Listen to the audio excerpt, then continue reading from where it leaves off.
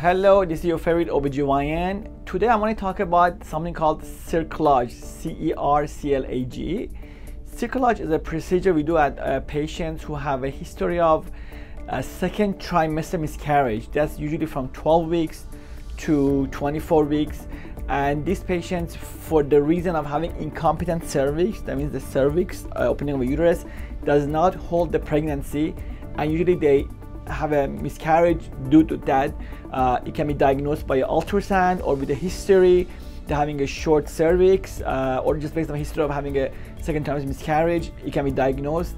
And the situation, uh, there is a suture is placed around the cervix at about 12-13 weeks and tight so it can hold the cervix tight and it stops from having miscarriage due to incompetent cervix and this usually remove around 36 to 39 weeks and the patient can have even normal delivery or c-section depending on the uh, necessity uh, after this procedure.